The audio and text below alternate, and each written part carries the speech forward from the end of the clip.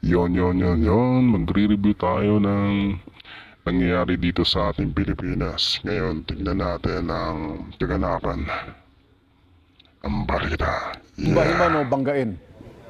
Oo, oo. yes, uh, Tila wala ng katapusan ng pambubuli ng China sa mga barko ng Pilipinas dahil matapos ang pambobomba ng tubig, binuntutan naman ng PLA Navy nito ang isang barko ng Philippine Navy na patungo sa Pagasa Island. Alamin ang buong detalye. Grabe mga kapatid na. Tingnan nyo mga F-16 kahutol. Hindi talaga sila tumitigil sa ginagawa sa atin. ang bumagsak sa isang matinding pagsasanay. Kaya't para malaman ang buong detalye ay tumutok at makinig na mabuti.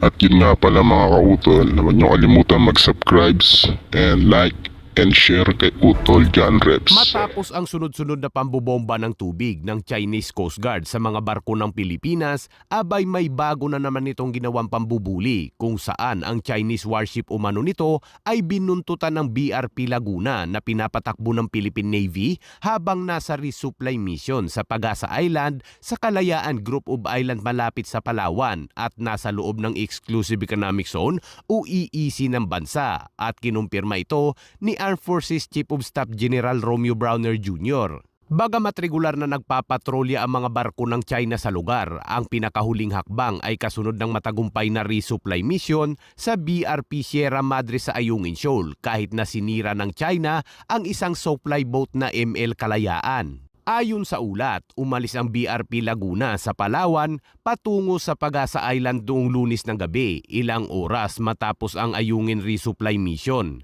Dala ng BRP Laguna ang mga supplies at sakay ang mga residente na pabalik sa isla. Ngunit sa hindi inaasahang pangyayari ay nasira umano ang makina ng barko sa gitna ng dagat kaya't na-delay ng isang araw ang dating nito sa isla. Pero habang nasa gitna ng dagat ay nakaharap umano nito ang ilang barko ng China kabilang ang Chinese PLA Navy warship na may Tingnan nyo kautol, 630. napakatigas talaga ng mga China. hindi Dapat din pinobombahan nito. At nagpatuloy ito sa paglalayag patungo sa isla pero sinundan umano nito ng mga barko ng China ang BRP Laguna hanggang sa makarating ito sa Pagasa Island. Batay sa ulat, aabot sa sampung Chinese vessels ang nag-iikot sa Pagasa Island.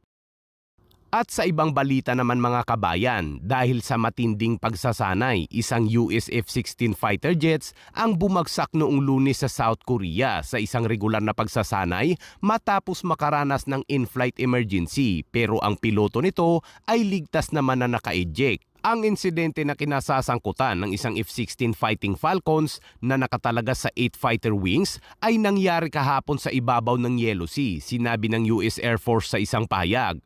Pero ang piloto ng nasabing F-16 ay na-recover ng Republic of Korea Maritime Forces kahapon ng tanghali at nasa stable na kondisyon ang piloto matapos suriin. Ayon sa pahayag, sinabi ni Colonel Matthew Gaitke ng 8 Fighter Wings Commander na hindi pa alam ang dahilan ng in-flight emergency at patuloy pa itong inaalam sa ngayon.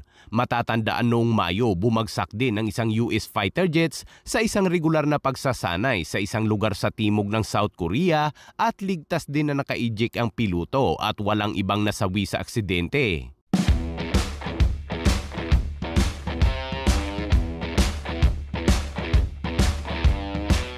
Ang Amerika ang pinakamahalagang kaalyado sa seguridad ng South Korea at mayroon itong istasyon na humigit kumulang 28,500 na tropa sa South Korea upang tumulong na protektahan ito mula sa North Korea na armado ng nuklear. Sa kalapit na Japan, inanunsyo naman ng militar ng US noong nakaraang linggo na sinuspindi nito ang fleet ng V-22 Osprey tiltrotor aircraft. Nakikita nyo mga kautol, maganda talaga yung mga gawa ng Japan. ng Classic talaga, sobra. Napaka tibay at napaka siguradong maasahan.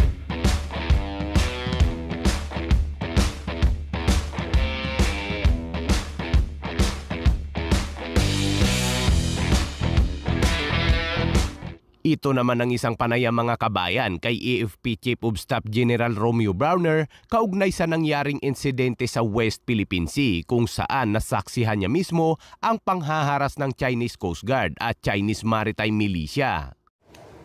alam nyo, nakakatawa lang eh. ah, na binabaliktad nila yung totoong istorya. No? Dahil nandun po ako mismo, doon sa ating ah, supply boat na Unaiza May, at nakita ko mismo yung panghaharas po nila. Ah, noong linggo ng umaga, at around 4 in the morning, doon na po nagsimula yung, ah, yung patintero natin with the Chinese Coast Guard and Chinese militia. Kasi halos sa bawat barko natin, merong lima na mga Chinese vessels na pumaharas dito. No? Kaya nakita ko kung paano sila mag-maneuver ng ah, very dangerous maneuvers Ah, dahil habang kami ay ah, umaandar no, pa, papunta dun sa Ayungin Shoal, ay ilang beses po kami kinat. No? Hinarang Nakita niyo, ah, namin. tignan mo ginagawa ng China sa atin. Masyado tayong sila binabastusin, no? Dapat kasi dyan, patulan na, hindi yung puro satsat lang, puro bunganga, puro reklamo. Alam mo, sa totoo lang, napakasinungaling po nila. Di naman nila lahat, ah. nila, in fact, karamihan sa mga pali- Pilipino, tayo ah, puro reklamo lang ginagawa. Kulang sa ng sa, sa gawa. Dapat yan, pinapatulan para Ang makita laki kung yung gaano tayo, uh, gaano tayo ah, kalakas. Yun, di ba? sinasabi nila. Well, ah, nag-iisip na po tayo, ano, pinag-uusapan natin, hindi lamang po military ang ah, concern dito, kasama po natin yung Coast Guard, kasama natin yung BFAR, at kasama rin natin, of course, yung mga mangingisda na Pilipino. No? And ah, so kailangan natin ng holistic approach dito. Whole of nation, kumbaga ang ah, pagiging approach natin. Pag-uusapan po natin lahat, pati po yung diplomasya ay ah, dapat meron din ah, effort. At nakikita naman po natin no, yung pag- pag-file natin ng protest laban sa China, Opo. yung pakikipag-usap natin sa kanilang mga opisyales ay tuloy-tuloy naman po.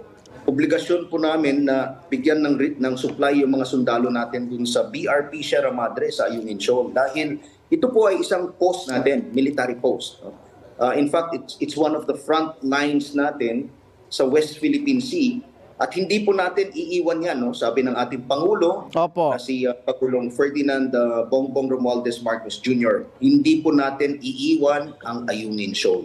Mm. Pero yung isang boat, yung MV Kalayaan, ay nasira Dapat lang, dahil dapat sa pag-water cannon ng, Ch- ng China. Mhm. So kailangan na ito, hilain po ng uh, Philippine Coast Guard natin yung MV Kalayaan pabalik ng uh, ng uh, Palawan at hindi po ito nakatuloy dun sa DRP Sierra Madre. Opo. Kami po na nakasakay sa un, uh, Una May 1, Una is the May 1. Kami Dapat po yung kasi patulan nakalusot na yung mga China na yun eh. Tapos lahat ng sa China dito, paalisin, pabalik sa bansa nila, ng tapos lahat ng produkto Opo. nila, huwag rin na yung regalo Kumbaga dapat ng produkto na natin, sundalo madadala sa yung mga yan DRP pag Sierra nabibili yung mga produkto nila. ko mismo yung dami ng mga Chinese vessels. Halos, ang nabilang ko nga po, mga halos ah, mahigit 40 yung nandun sa paligid ng Ayungin Shoal. Opo. At uh, sabi ni uh, Admiral Carlos, ang commander ng Westcom, this is the first time na lumaki, nag-surge ng ganung uh, numbers yung uh, Chinese vessels. So, Opo. naghahanda po sila para dun sa Christmas convoy natin. No? Mhm. Pinaghanda.